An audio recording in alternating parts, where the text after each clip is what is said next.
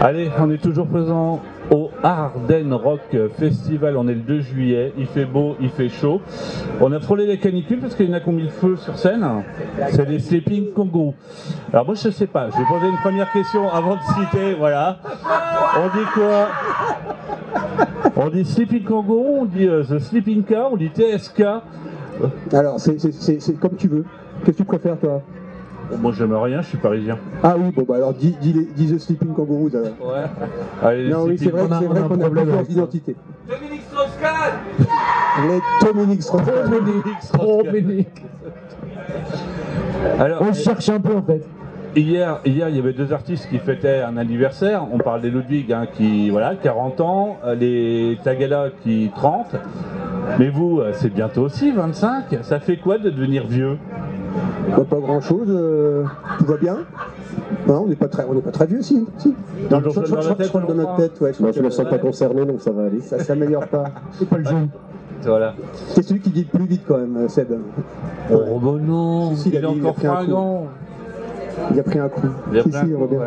On ne dira pas où. Tu, tu vas prendre un autre coup, il y a pas longtemps, toi, tu vas voir. Alors on va faire une rétrospective de ces... Allez, on va le dire honnêtement, ça fait 23 ans. 23 ans, ouais. ouais. la vérité c'est ça. 23 ans de 23 vie ans. commune. Pas ouais. euh, oh si quand même quelques-unes.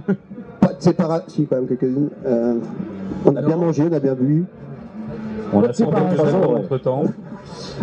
Donc en 23 ans, ça a débuté. Alors moi, je me souviens par un CD gravé, euh, fait maison, en do it yourself. Euh, Bah, on n'a pas changé, En sortie de concert. C'était ouais vieux, à Voutier. C'est comme ça que je vous ai Bousier, rencontré. ouais, hein. c'est la première fois qu'on s'est rencontrés. Ouais. Ouais, à l'époque vous aviez beaucoup de cheveux. Pas, pas, pas gris, pas Aussi blanc. Pas aussi blanc.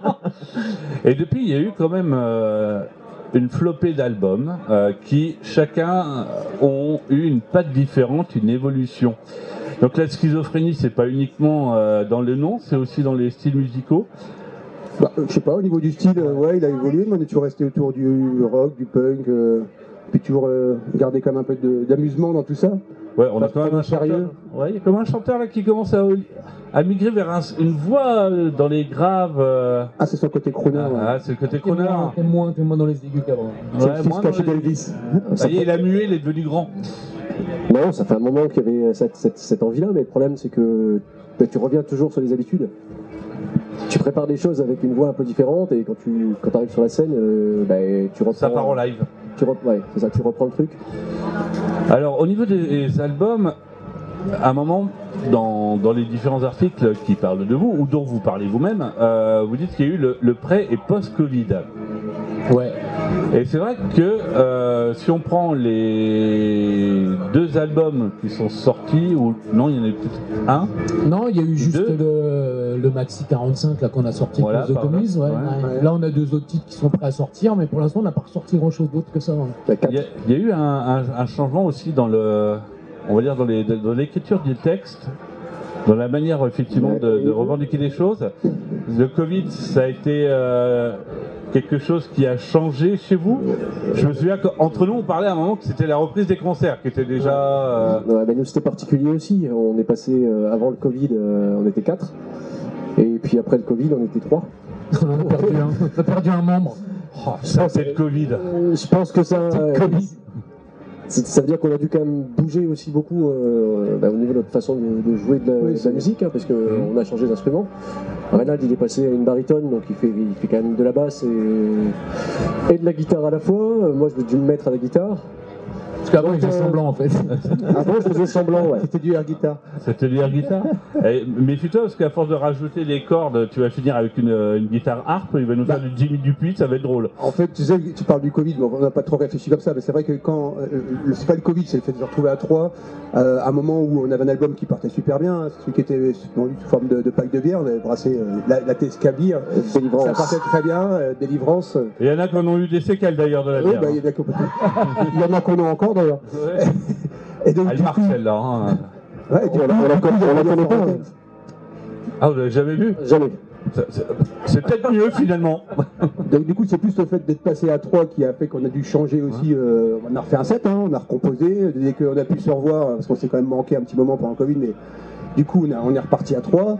euh, avec On est reparti à zéro surtout. Et on est reparti à zéro sur, sur les morceaux. Il n'y a qu'un qu'on avait un petit peu euh, transformé, qu'on n'a pas joué ce soir, mais qu'on joue de temps en temps. Euh, le reste, c'est que des, des compositions. Donc, euh, ce qu'on a voulu faire, c'est surtout vite recomposer et vite retrouver la scène, quoi. Euh, retrouver euh, les bars. euh, et on était comme des gamins parce qu'on est. euh, Et puis de passer à 3, ça a tendu un petit peu le jeu aussi. On a, on Ouais. sait- Je pense que c'est un peu plus euh, rentre dedans qu'avant aussi. Je disais que ça avait, euh, Musclé un peu. c'est- ça avait- ça- on a musclé un peu, mais ça- c'est pas ce qu'on, euh, on s'est pas dit on va muscler le jeu. Ça c'est c'est venu comme ça en fait à 3 en trio, c'était plus. euh, Mais alors, ouais, c'est plus ri- carton, c'est- ouais. c'est rigolo parce qu'il y a des gens qui, justement, qui nous suivent depuis le début, qui en retrouvent l'énergie du début, du tout début des sleeping. Et c'est vrai qu'il y, a un- il y a un peu de ça. On retrouve un côté euh, plus dans, dans l'énergie, euh, plus punk, euh, plus débridé parfois, et puis, euh, puis surtout, on, on- on- on se marre, quoi. on continue à se marrer, c'est surtout ça qui est important Ouais. dans, dans l'histoire aussi. Après, on a des membres fantômes, faux, faux ici présents. Quatrième qui est arrivé. Ah ouais, Ouais, on fait. euh. Ah bah on va peut-être le présenter on, alors. on- on fait dans le happening euh, maintenant. euh, Alors, l'happening. le- C'est qui C'est Nico. Et quand il va les claquettes, il monte sa bite. Et voilà. C'est sûr que c'était Claquette. il est assez polyvalent en fait. hein. Ouais. Bon, c'est c'est pas, c'est- c'est pas, pas très radiophonique, mais bon. Oh bah, on l'a déjà eu dans un certain 36 12 comme lui avec quelqu'un d'égoré, hein. Si c'est la radio, je veux bien le faire, mais euh, Ouais, je sais pas, messieurs, mesdames. Non, Nico, t'es sûr, t'es sûr que c'est un micro que t'as dans la main euh, couper, couper les, euh, Coupez les portables. Et il Non, non, non, non, Nico, t'es pas obligé. Je vois ce que j'ai sur le bras là. Je vois sur la bite. Je peux le déployer à tout moment. C'est pour ça qu'on a mis ce TSK, il n'arrivait pas mettre The Sleeping. Alors au final, si on pouvait résumer en fait cette période avant-après, euh, les Sleeping en gros, euh, on aurait dû dire Sleeping Papillon parce que voilà, il y avait l'avant un peu euh, voilà Chenille qui euh, grandit, Forcy. Cette, période, voilà, c'était le redémarre plus C'est fort. c'est plutôt grand. SVT ou philo ce que tu viens de raconter là parce que j'ai pas bien compris. Oh bah, je parle à des profs, j'essaie de me mettre au niveau, sois gentil quand même. Perdu. Donc maintenant, bah voilà, vous avez parlé effectivement euh, de deux titres qui sont sortis. Alors sur certaines plateformes le 1er avril, beaucoup ont dû croire que c'est une blague, mais non, puisque vous en confirmez deux autres. euh, Oui, oui, bien En sûr. On a, on a- on a pas mal de prêts. On a déjà ces, ces deux morceaux et puis surtout les deux, Les deux clips. Ah qu'on a sortis avec, euh, dont un qui a été fait par euh, Joe Cortez, qui nous suit depuis un bout de temps, hein, euh, Tu faisais les pochettes. et ouais, qui nous faisait déjà des pochettes, avec qui on a bossé, qui, qui nous aide même sur tout ce qui est artwork là, et puis entre autres sur le projet, euh, tout le projet vinyle euh, partagé. Ça, on avait envie de faire ça, c'est-à-dire vraiment partager avec un autre groupe comme ça se faisait longtemps, des splits quoi. Et avec les Nozocomus, c'est vrai qu'on s'est bien éclaté. Et du coup, bah oui, on a eu ce projet de se dire à un moment, c'est le gros, en passant par une brocante, qui dit Oh, j'ai une idée. Et c'est parti comme ça, c'est-à-dire récupérer des tonnes de vieux vinyles, hmm. tout azimut, hein, tout style, euh, des Miss euh, Surtout du pourri d'ailleurs. tout ce qui était Bah, c'est pourri, souvent la garde républicaine, hein, euh, Et donc du Alors, coup, eh ben, de, de les customiser et euh, bah, tous uniques quoi en fait. Donc on a sorti 300, 300 tous uniques. Ils sont d'ailleurs en vente euh, Ouais, Ici, c'est des pochettes et- uniques. et euh, chaque pochette est unique. Alors ce qui demande à, à chacun de fouiller un peu pour trouver ce qui lui correspond le mieux. hein. Il y en a qui ont pris des Miss Roussos, On en connaît. on en connaît. Et donc ouais, c'est un beau projet parce que c'est du partage et puis surtout, il faut juste imaginer, euh, pour ceux qui connaissent les nosos, euh, donc les nosos et, et les sleeping en train de, de faire des ateliers de peinture à la bombe sur des vieux vinyles. Euh, c'est quand même des moments assez épiques. Il doit y avoir quelques taches de jupilaire, non? Est-ce est-ce que les bâtiments ont survécu? Oui, Oui. ouais. On sent une hésitation. Tous les, tous les vinyles n'ont pas survécu, mais les bâtiments, oui. Et les couples aussi, non ça Les couples aussi, non, ça va. Hein. Tout va Non, bien. tout va bien. Dans la grande nouveauté Ouais, quand même pour Oui, c'est bah, c'est- c'est d'ailleurs. copains ensemble, ça c'est la grande nouveauté. La grande nouveauté, c'était quand même les clips. hein. On n'avait jamais fait en fait. hein. On n'avait jamais fait euh, de clips, on n'avait jamais eu euh, Joe euh, qui nous a fait un truc et tout. euh, ça, pour nous, c'était euh, un temps fort. On ne sait plus trop comment sortir de la musique en fait. Et du coup, on cherche à avoir de l'image et c'est pas simple. Et là, du coup, on est super fiers d'avoir euh, ce titre. C'est vrai qu'on s'est toujours concentré beaucoup sur la musique Ouais. parce que c'est ce qui nous- ce qui nous intéresse. Et L'image c'était un peu accessoire assez bizarrement. Et là c'est vrai qu'on a trouvé euh, des gens qui nous ont suivis, euh, on est vraiment content du résultat. Et Au niveau de l'album, j'ai cru voir que vous travaillez avec Fred. Ouais, toujours. Ça va, il survit toujours Bah Il a passé euh, le Covid. Euh, nous aussi. Il a passé le Covid, lui aussi. non non ouais, bah toujours toujours là, toujours fidèle. euh, pareil, toujours des bons moments. hein. Là, on a repassé, bah, c'était quand il y a deux mois là Non, un mois et demi Au mois de mai. Bah, ouais, la a fait le mastering. Bah oui, mastering c'était au mois de mai. Euh, c'est toujours des, des moments super parce que bon, on est un peu, c'est un peu notre deuxième maison, hein, PNF Studio. hein. C'est clair que Ah, puis on Fred, arrive. euh, Fred a joué avec nous quand même pendant quoi, 8, 7 ouais, il avait. ouais. Mmh. Mm, mm. pour la, quand on a sorti euh, l'album d'avant, Délivrance. Qu'on s'est retrouvé à 3, donc c'est lui qui a pris le- la basse pendant, Jusqu'au Covid. ouais. pendant une douzaine de concerts. ouais. Donc il connaît, il connaît bien, il connaît bien nos, nos délires, notre humour de merde. Et euh, bah, finalement, euh, tout va bien quoi. hein. Il Donc, leur demande, je crois d'ailleurs. donc si on fait un résumé, deux titres, deux clips, Ouais. encore deux titres en prépa. Non, ils sont, ils sont là. C'est juste qu'on sait pas trop comment les sortir pour l'instant. On, on cherche soit de l'image, soit on sait pas trop. Voilà. Mais ils sont là. Ils sont déjà masterisés, on les a. Voilà. On les a joués ce soir, ils sont déjà en galette. Et alors, le retour Hydro-aimé C'est le principal. Bah oui, c'est ça qui est important. Voilà, ouais. Donc, euh, au-delà de ces deux titres, de l'écriture pour euh, d'autres pistes qui formeront un album. Ouais, oui, alors album, euh, oui, peut-être qu'à la fin on mettra tout en album, ou alors peut-être qu'on fera un, un, un- un best-of. 23 ans, ça peut se faire, ça. Peut-être, peut-être. Ouais. On va- On va aller rechercher dans tout ce, que, tout ce qui est dans notre veine, parce que finalement on se rend compte que même si on est à trois, euh, le résultat il vient aussi de toute une histoire, avec une belle densité quand même de, de moments forts. Donc il y a des morceaux qui sont encore dans nos têtes et qu'on pourrait, euh, en effet, qu'on renierait pas aujourd'hui euh, en termes d'énergie, quoi, c'est clair. Finalement, si l'expérience clip vous a plu, plutôt que de rester sur le principe album DVD, Un DVD un DVD clip, ouais. Avec des petites parties de, de concerts. euh, On n'a pas beaucoup d'images en fait. hein. On se rend compte qu'on n'a pas des masses d'images. hein. Alors, Il y en a qui Non. traînent, mais euh, ouais, ça pourrait se faire. Il faudrait chercher. euh. Je t'avoue qu'en fait, on est prof d'histoire, tu, tu- tu disais tout à l'heure. n'est pas trop Euh, archive. et hein. en fait, on n'est pas trop archive. c'est pas notre truc. C'est-à-dire que là, on regarde toujours devant, car rarement derrière, en fait. Ouais. On prend toujours les dates une par une, on s'amuse. Voilà, le but c'est ça, quoi. Après le reste, Alors, parlant de date, les prochaines. Bah, les prochaines euh, Eh les ben, vacances. Et puis après, on va retravailler. euh, euh, je pense plutôt octobre. On va essayer de voir, euh, repartir. On a eu, on a eu une grosse l'année dernière. C'était vraiment une grosse année. On a, on a vraiment, on voulait rebouffer de la scène. On a rebouffé tout azimut. Donc euh, voilà. Cette année, on est reparti aussi sur la route. On a fait bah, des concerts en Normandie, entre autres, à If, à Caen. Là, c'est bien de finir à la maison à Arden Rock. C'est quand même un beau moment avec des gens qui, voilà, qui, qui réclament Des poils. qu'on se mette nu. Et donc, Vous du coup, ont-ils déjà vu C'est- c'est- nu Oui. C'est possible. Ah, Mais c'est je- peut-être pour ça qu'ils en demandent. On n'a pas de souvenir. Ouh. On n'a pas d'image non plus. Ah, c'est ça, heureusement. Non, on va rebosser à la rentrée. On va, on va- Ouais. Ouais. Le but, c'est que tu- chaque fois que tu es dans les phases où tu as un petit peu des dates, bah, tu abandonnes un peu les compos parce que tu dois te focaliser sur le set. Et puis quand on a un peu moins de dates, finalement, c'est pas c'est cool. Tu dis, ouais, vas-y, on peut s'amuser, créer des nouveaux trucs. Donc, euh, toutes, les, toutes les périodes sont, sont à bon prendre en fait. ouais. ouais. Soit on se concentre, soit on bosse un set. Voilà. Si on veut retrouver les, les Sleeping Kangourous, les Sleeping K, les TSK, euh, on les retrouve comment et où? Alors, ouais, et justement, je rebondis. C'est bien de le dire, monsieur, parce que là, je vais vous piéger. Vous savez que vous avez Train Station Conspiracy, qui s'appelle TSK, et qu'il existe un groupe de rap américain, et je crois qu'il y a même un groupe de rock chrétien. hein. donc, euh, Et je crois même que l'armée turque, elle s'appelle TSK. Voilà, c'est ça. Il y a de tout. il y a de tout, ouais. Ou alors, on tombe sur effectivement des kangourous qui pioncent, mais. euh, Ah, mais ça, il faut écrire Sleeping avec euh, SADP. ouais, hein. bah, merci l'intelligence artificielle, le moteur de recherche, qui est complètement débile aussi. Hein. Ah, bah oui, de c'est pas facile de nous trouver en fait. Ah, C'est un groupe qui se mérite, TSK. Il faut faire un peu de Non, recherche. mais on peut écouter Ouais. les disques, euh, ils sont sur Deezer, euh, sur les plateformes. Ouais, sur Deezer, Ouais, Spotify. vous êtes sur Bandcamp, je crois aussi. Ouais, Bandcamp, ouais, il y a un Bandcamp Voilà. Sleeping.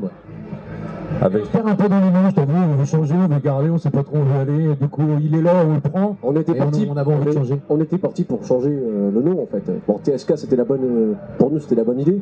On reste sur on voit bien qu'au bout d'un an et trois mois, ben, finalement on a toujours le même point. Euh, Les gens ils appellent ça Sleeping Kangaroo. Je crois qu'un poil, ça être un bon nom aussi. Euh, Karine, tu commences. Et euh, donc, euh, et puis voilà, donc on s'est. Nous, on était parti vraiment pour passer à TSK. Ouais. Et on se rend compte que c'est euh, bah, c'est pas facile. Même on- quand on a fait les, euh, les démarches pour euh, les deux nouveaux titres euh, sur Deezer, Mhm. eh bien on, on a été emmerdé parce que euh, bah, on voulait les passer sous TSK et en fait on est enregistré sous The Sleeping Kangaroo. Et donc, euh, bah, ils nous ont refusé. Ouais, bah, Donc, bah, on a été obligé de reprendre The Sleeping Kangaroo. Tu Donc, vois, on va- si, tu veux, si tu veux que l'historique soit un peu présent quand tu tapes euh, sur Deezer ou Spotify, il faut bien que les albums soient au même endroit. Et pour être au même endroit, il faut que ce soit le même nom en fait. Ouais. T'es coincé, autrement tu recrées un truc TSK, c'est un projet nouveau.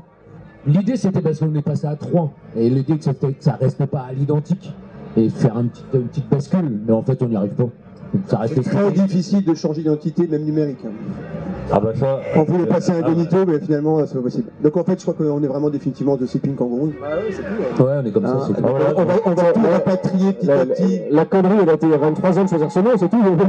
Voilà. Va falloir C'est ça, assumer l'erreur. au bout de 23 ans, hein. c'est une vieille connerie en fait. Ah bah c'est là-dessus qu'on va chercher pour retrouver donc bah, le- l'album Délivrance qui est toujours dispo avec ou sans pack? L'album Délivrance, il est dispo euh, en écoute, mais là, il est plus dispo en. Tout a été, tout a été bu, tout a été vendu. Il nous reste le maxi avec les nosos, Ouais. Et 1979 en vinyle. en vinyle qui nous reste aussi. Trois tours. Ok. Il nous reste, euh, ouais, euh, il en reste quelques-uns. Euh, reste, tout est parti. euh, Ouais. y compris les premiers dont tu as pu, en effet, euh, Il n'y en a plus. euh. Il n'y en a plus. ou à l'époque on Voilà. fabriquait à la chaîne, Ah ouais. Bah oui. on enregistrait 12 titres en, en- en une journée. C'est beau. C'est efficace, hein. Ah ouais, on était. Voilà. Alors que maintenant. Nico, Il euh, faut expliquer plaquette, qu'aussi, euh, ils se diversifient. Ils ont ajouté un, un numéro de plaquette euh, au, au milieu de leur set. Euh, c'est, c'est- Sept plaquettes. Sept plaquettes. euh, ils, ils cherchent, euh, ça- on, on va se trouver. Mais euh, il y, y a- il y a des trucs qui se passent. euh, c'est, c'est pas que trois personnes. Il y y y a plein de membres fantômes. Euh, Donc ça, c'était Nico qui parlait, euh, notre, euh, notre On sait pas quoi. numéro, notre, euh, on numéro sait pas de quoi. claquette, on est bien d'accord, c'est bien claquette que t'as dit. Ouais, c'est ça. Ouais, c'est un peu ça. ouais. Donc c'est- lui qui nous. C'est le double beat. Il est toujours là, il est toujours là quelque part. Il dit qu'on est un groupe international. C'est vrai, C'est pas. euh, c'est vrai, on a joué, on a joué en Belgique aussi. euh, on a joué, Et puis on a joué aussi euh, En Belgique, en Wallonie, en Wallonie, hein, et puis euh, non, on est, on est des Tu fois la Belgique aussi on a des fois quitté notre pays, hein, on, est, on est allé à Reims aussi. Non, mais après, On a- c'est vrai on qu'on a- on a, on a quand même, sur les 23 ans, on a quand même fait énormément de rades. Et, euh, et c'est vrai qu'on on dit toujours qu'à l'échelle, ça a été. euh, moi, je me rappelle toujours euh, ce concert avec 10 personnes à Chalon, à Péniche, et puis, et puis après le Bataclan, en passant par le cabaret. En fait, tu passes par plein d'é- d'épisodes différents, et en même temps, à chaque fois, tu te marques. quoi.